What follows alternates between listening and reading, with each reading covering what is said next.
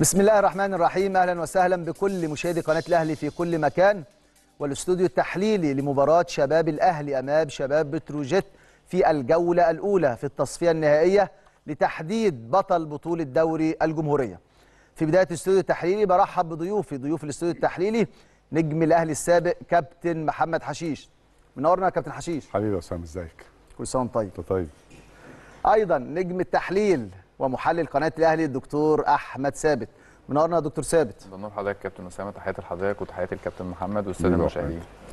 في البداية قبل ما نروح للمباراة اليوم والاستوديو التحليلي خالص العزاء في وفاة والد لاعبنا أحمد نبيل كوكا للفقيد الرحمة والمغفرة وللأهل الصبر والسلوان. حتى النهارده أحمد نبيل كوكا يعني منزل على صفحته ال- الرسمية يعني بينعي والده بيقول كان واحد منكم وصورة ليه في آه، مدرجات الأهلي في مباراة. أكيد حضرها لأحمد نبيل. كوكا وهو بيلعب وهو متواجد في المباراة. بيقول لجمهور الأهلي ما تنساهوش من الدعاء. ربنا يرحمه ويغفر له ويصبرك. وأفضل رسالة أحمد تقدمها لوالدك إنك تكمل في النادي الأهلي بكل إصرار وبكل عزيمة ودايما تقاتل في النادي الأهلي علشان الحلم والأمل اللي هو كان نفسه دايما يشوفه فيك زي ما شفنا في كأس العالم للأندية وانت بتهديه برونزيه كأس العالم إن شاء الله تستمر صولاتك وجولاتك في النادي الأهلي ودايما حتى باباك وهو في قبره دايما يكون سعيد بيك وبالرسالة اللي كان نفسه يشوفها فيك في الدنيا.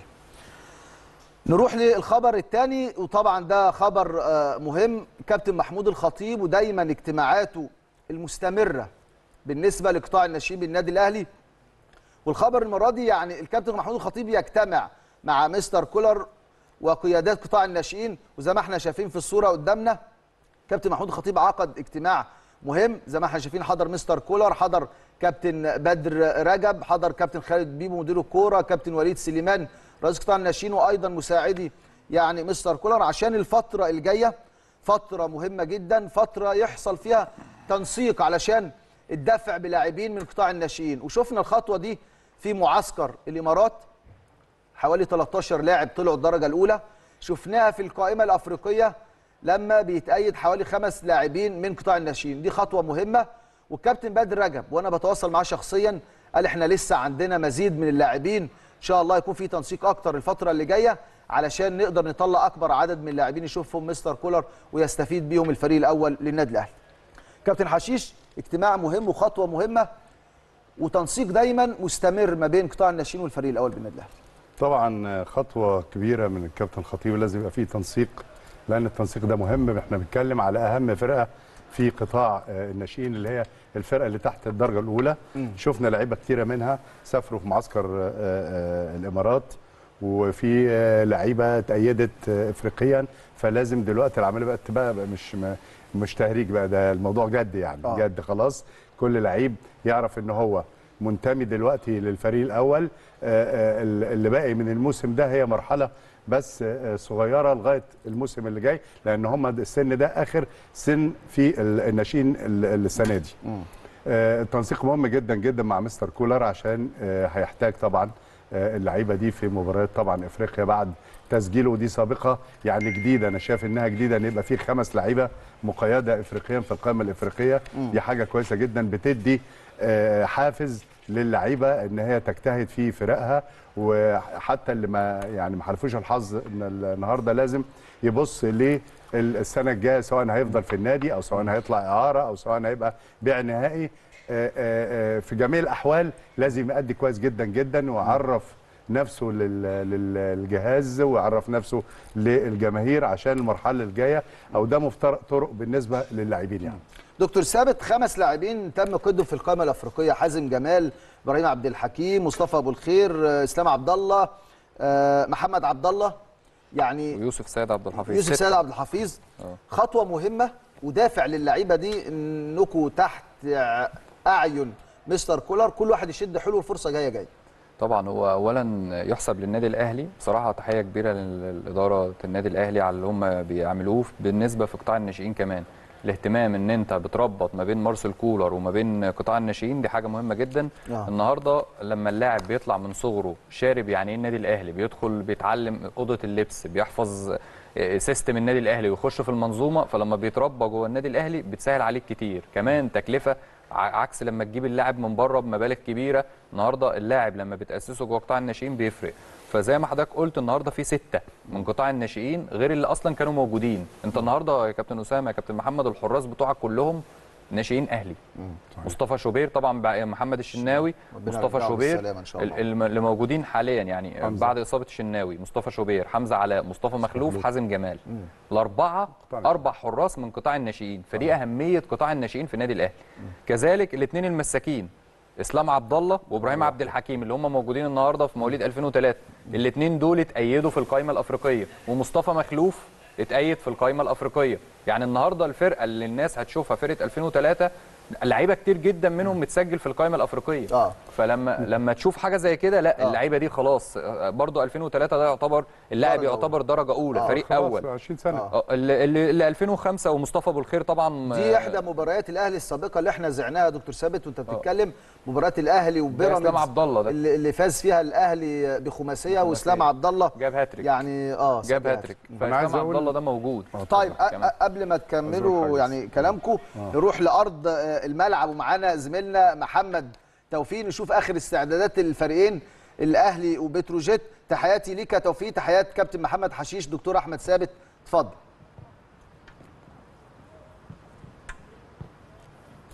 مساء الخير كابتن أسامة. تحياتي لحضرتك وضيوفك الكرام كابتن محمد حشيش دكتور أحمد ثابت وكل مشاهدي قناه النداء في كل مكان. تجدد اللقاء وجولة جديدة من جولات ملعب الأشبال. يمكن النهارده مباراة الأهلي وبتروجيت.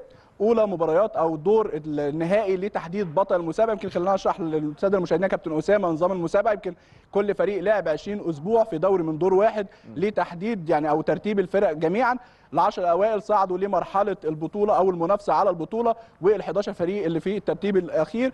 يعني يمكن بيصفوا على الهبوط للدرجة الثانية الحمد لله النادي الأهلي يمكن أنهى الدور الأول الترتيبي في المركز الأول. بتروجيت منافس النادي الأهلي اليوم في المركز الخامس. النادي الاهلي طبعا صعد بنفس يعني عدد نقاطه 42 نقطة في المركز الأول وبتروجيت في المركز الخامس ب 36 نقطة. إن شاء الله الفريق بيتبقى ليه تسع مباريات على البطولة أولها النهارده أمام بتروجيت. إن شاء الله يقدر يحافظ على ترتيبه ويفضل في المركز الأول. زي ما كنت بتتكلم يا كابتن أسامة حضرتك وضيوفك الكرام إن فريق 2003 أو كل قطاع ناشئين بشكل عام عدد كبير جدا منه مصعد للفريق الأول أو كمان في أعراض لفرق للدوري الممتاز. لاكتساب طبعا الخبرة والعودة مرة أخرى لبيتهم من جديد النادي الأهلي. ولكن طبعا يبقى هدف النادي الأهلي في البداية وفي اولا هو البطولة وإن شاء الله الفريق يقدر يحافظ على دوت. يمكن كابتن أسامة الفريق زي ما قلنا هيلعب تسع مباريات في هذا الدور لتحديد بطل المسابقة. منهم ثلاث مباريات بس هيبقوا على أرضه. مباراة اليوم أمام فريق بتروجيت وبعد كده يبقى مباراة الاتحاد السكندري ومباراة الزمالك ولكن ست مباريات كاملة من الت- التسع مباريات يا كابتن اسامه هتكون خارج ملعب فريق النادي الأهلي ولكن إن شاء الله الفريق قدها وباذن الله يقدر يحصد البطولة ويحقق الهدف الأول وهو البطولة دائما داخل النادي الأهلي. يمكن فريقين بالفعل وأنا مع دلوقتي في أرض الملعب بيجري عمليات ال- الإحماء. النادي الأهلي طبعا بقيادة كابتن أحمد عبد الظاهر المدير الفني وبتروجيت بقيادة الخلوق كابتن حمام إبراهيم وطبعا قيادة قطاع الناشئين في نادي بتروجيت من كابتن ياسر رجب أحد أبناء النادي الأهلي. اللي دايما بنشهد لهم يعني بالكفاءة يمكن أرضية الملعب كابتن أسامة ولا أروع. الجهاز طبعا التنفيذي داخل فرع النادي الأهلي هنا في مدينة نصر عامل أداء أكثر من رائع. أرضية الملعب جيدة الجو النهارده كمان يمكن شتوي دافئ أكثر من رائع. كل العوامل المحيطه بالمباراة إن شاء الله تكون مساعدة للفريقين نشوف مباراة جيدة وتنتهي إن شاء الله بتتويج النادي الأهلي بثلاث نقاط وتبقى أول ثلاث نقاط في دور البطولة بإذن الله. رب العالمين يمكن زي ما كان دكتور أحمد ثابت بيتكلم وأنا حضرتك في البداية عن إن في لعيبه كتير مقيدين أفريقيا أو كمان في أعراض كمان في غيابات النهارده. يمكن أبرزهم كريم عثمان وأحمد داوود ويوسف شريف للإصابة ومصطفى أبو الخير طبعا المقيد في الفترة الأخيرة افريقيا يمكن غايب النهارده للإيقاف لحصوله على ثلاث إنذارات ولكن إن شاء الله بقية اللاعبين الموجودين يكونوا بإذن الله قدر المسؤولية وإن شاء الله يحققوا النتيجة المرجوه وفوز النادي الأهلي وحصد ثلاث نقاط. يمكن النهارده كمان يا كابتن اسامه بيقود اللقاء تحكيميا طاقم تحكيم بقيادة محمود منصور من منطقة الغربية 35 سنة وبيعاونه المساعد الأول عمر فتحي 38 سنة من منطقة اسكندرية والحكم المساعد الثاني كابتن محمد القاضي من منطقة اسكندرية 27 سنة. نتمنى كمان طاقم التحكيم التوفيق النهارده يقدم مباراة كبيرة ويساعدوا الفرقتين إن شاء الله إن هم يعملوا مباراة كبيرة. وزي ما قلنا بإذن الله النادي الأهلي النهارده يكون أول ثلاث نقاط في هذا الدور وبإذن الله ينهي البطولة في المركز الأول كعادة الأهلي النادي الأهلي دائما إن شاء الله كل الأجواء زي ما قلت لك يا كابتن أسامة الملعب درجة الحرارة كلها إن شاء الله يعني تكون مساعدة للفرقتين وبإذن الله بعد نهاية المباراة نحتفل مع حضرتك بالفوز وأول ثلاث نقاط بإذن الله رب العالمين. كابتن أسامة اتفضل. أشكرك شكرا جزيلا زميلنا زميلنا محمد توفيق. كابتن حشيش شايفين في خلفية الملعب ورا محمد توفيق أرضية الملعب ما شاء الله. الفترة اللي. فاتت الأهلي استعد استعد كويس فترة التوقف قفل الملعب صيانة وقدامنا الاحماء إحماء الف- الفريقين الملعب على أفضل ما يرام. آه، حاجة طبعا يعني غريبة لأن إحنا عدينا نص الموسم داخلين على نهاية الموسم. آه، الوضع الطبيعي الملعب بيبقى استهلك من المباريات وكده خصوصا إن مفيش إلا الملعب ده بتلعب عليه المباريات الجمهورية الرسمية. فكون إن هو الحقيقة يبقى بال- بالجودة دي فده دليل على إن في شغل كويس قوي في صيانة الملعب أنت شفت. حضرتك ملعب برج العرب؟ آه. برج العرب النجيله اللي بتاعته عاملة إزاي آه. آه يعني بايظة في الوقت آه، ده بالظبط. ملعب أهلي مدينة نصر خلي بالك اتقفل الشغل حوالي. ثلاث أسابيع صيانة تامة عشان عارف إن الفترة جاية في بقى 2007 بيلعب عليه و2008 و2003 و2005 فتم يعني بس النجيلة. تحفة الصراحة تمام. يعني دي من أحلى الأوقات اللي شفنا فيها ملعب أهلي مدينة آه. نصر بنشكر بالشكل بقى ده. المهندسين الخاصين بالصيانة يعني دي بقى الجنود طبعاً، المجهولة طبعا نروح نشوف جدول ترتيب دوري الجمهورية مواليد 2003 قبل انطلاق آه، يعني جولة اليوم أو مباراة اليوم الاهلي أمام بتروجيت والأهلي في الصدارة. لو معانا الجدول يا ريت ننزل بيه على على الشاشة وإحنا بنستعرضه. تمام.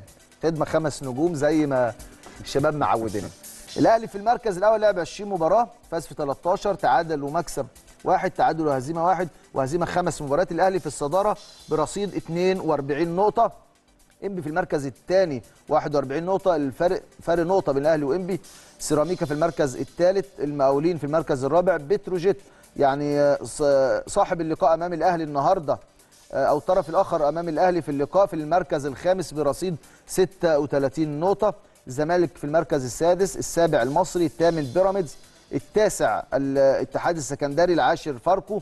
والاول 10 فرق هيلاعبوا بعض النهارده. الجولة الأولى بتنطلق النهارده أول 10 فرق.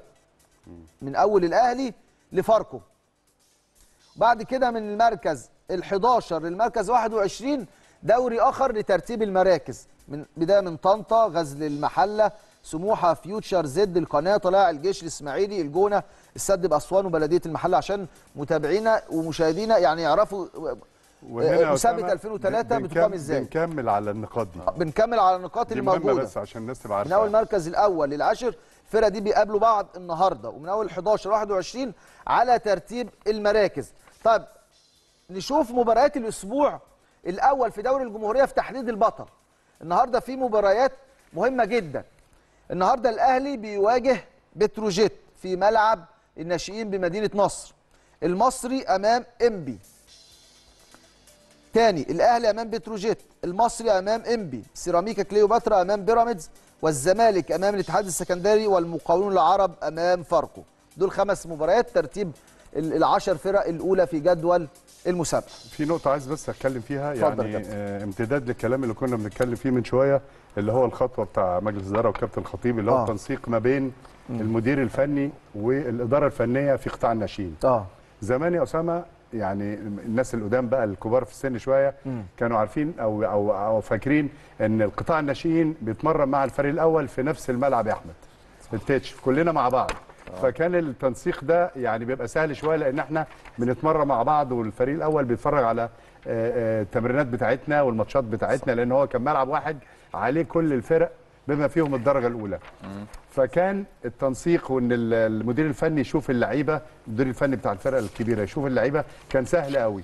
إنما دلوقتي عشان طبعا قطاع الناشئين استقلوا بقى في مدينة نصر فكان صعب أو بتبقى بس- صعبة بس شوية دلوقتي برضو بيعملوا حاجة بيعملوا ماتش try match بالظبط فالمدير فكولر بيتفرج يعني على طول. لسه من يومين كانوا بيعملوا try match أنا عايز أقول لك. كمان بالإضافة لكده الدور آه. بقى بتاع قناة الأهلي بقى آه. آه الاستوديو اللي إحنا طبعاً. بنعمله وأسامة الاستوديو اللي بيعمله يعني ده بيكمل التنسيق ده لأن بيجيب الماتشات للمدير الفني كولر لغاية عنده النهارده لو. كولر ما راحش ملعب الناشئين في مدينه نصر وهو قاعد في الجزيرة على. يفتح التلفزيون قناة الأهلي اللعيبة قدامه وبيتابع فدي مهمة فبرضه دي حاجة مكملة يعني طيب تعالوا نروح نشوف الجهاز الفني والإداري لفريق آه، النادي الأهلي أو فريق شباب الأهلي مواليد 2003 الجهاز الفني الكابتن أحمد عبد الظاهر مدير فني كابتن أحمد جلال مدرب عام كابتن خالد عثمان مدرب حراس المرمى كابتن محمد راشد مدير إداري دكتور علاء مامون طبيب الفريق كابتن عمر شعراوي مدرب أحمال كابتن عبد الحميد حسين مدلك عبد الرحيم سونج مسؤول مهمات ورمضان حارس مسؤول مهمات. ده الجهاز الفني للنادي الأهلي. ونشوف قائمة الهدافين. قبل انطلاق مباراة اليوم سمير محمد هداف الفريق برصيد تسع أهداف وعلي نادر سبع أهداف ميدو نبيل ست أهداف عبد الرحمن شريف أربع أهداف إبراهيم عبد الحكيم ثلاث أهداف محمد وائل ثلاث أهداف محمد أسامة هدفين وهدف لكل من أحمد أشرف ومصطفى أبو الخير اللي هيغيب عن لقاء اليوم ومحمد آه، ميسي هدف. نروح لتشكيل النادي الأهلي. تشكيل النادي الأهلي اللي هيبتدي لقاء اليوم في حراسة المرمى. مصطفى مخلوف هيمثل النادي الأهلي اليوم في حراسة المرمى خط الظهر. اثنين مساكين إبراهيم عبد الحكيم وإسلام عبد الله back right عبد الجواد عبد الرحمن back left مازن أسامة اثنين في وسط الملعب أحمد طعيمة وميدو نبيل أحمد أشرف wing right وميدو أسامة wing left واثنين في الأمام اثنين مهاجمين عبد الرحمن شريف وسمير محمد.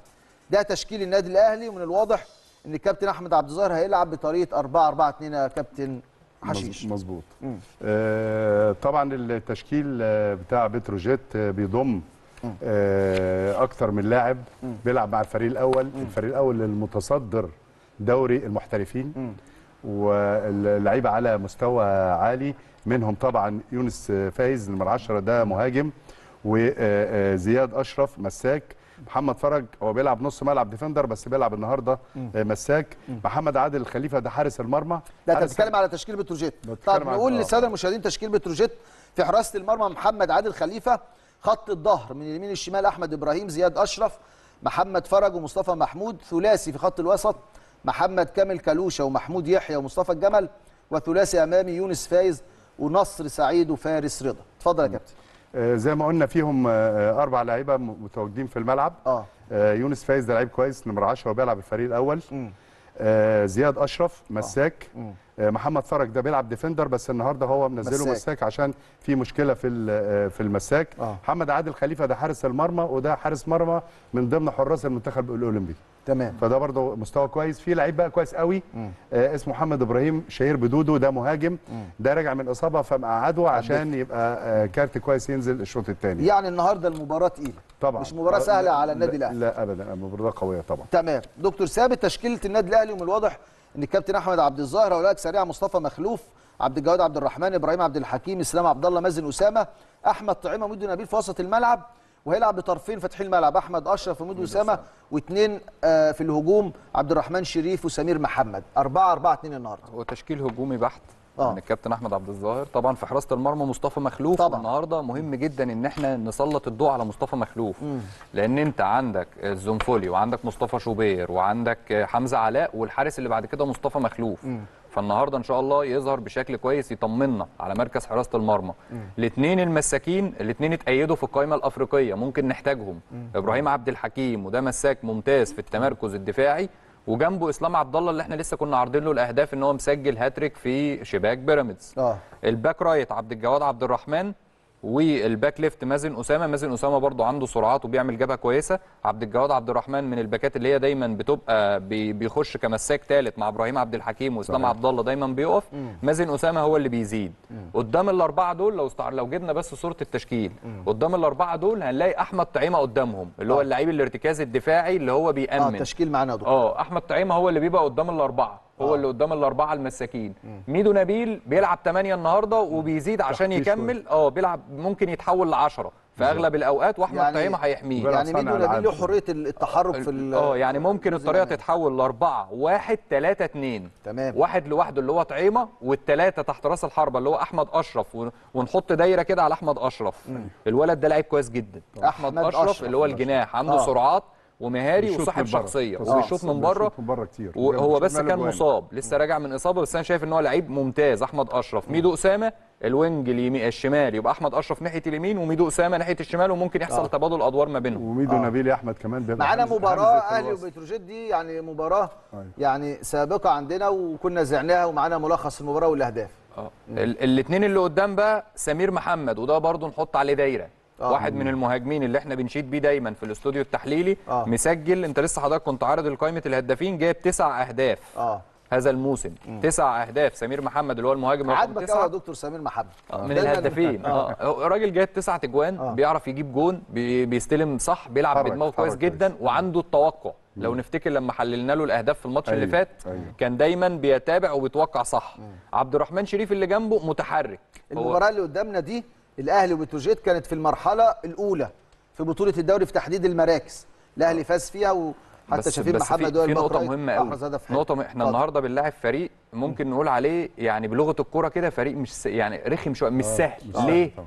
الفريق ده بيدافع كويس جدا وده اللي الأرقام بتقوله. هقول لحضرتك رقم تاكيدا لكلام كابتن محمد. اتفضل. الفريق ده بيلعب على ركلات الترجيح. آه. أكتر فريق في الدوري اتعادل وكسب. يعني آه، إيه؟ يعني تسع- كسب بركلات تسع الترجيح. مرات بيتعادل ويروح لقرات آه دي معناها إيه؟ ركلات الترجيح. معناها إن الحارس اللي معاهم ده ممتاز في ركلات الترجيح. آه. ما هم مش هيكسبوا تسع ماتشات بركلات الترجيح إلا لما. الحارس ده طبعاً. يكون ممتاز بركلات الترجيح. اذا. هم النهارده جايين يعملوا إيه؟ جايين يحاولوا. بيلعبوا النادي الأهلي في مدينة نصر. آه. بالتالي بيحاولوا إن هم يتعادلوا يقفلوا. وهم عندهم قدرات دفاعية كويسة وعندهم حارس كويس. آه.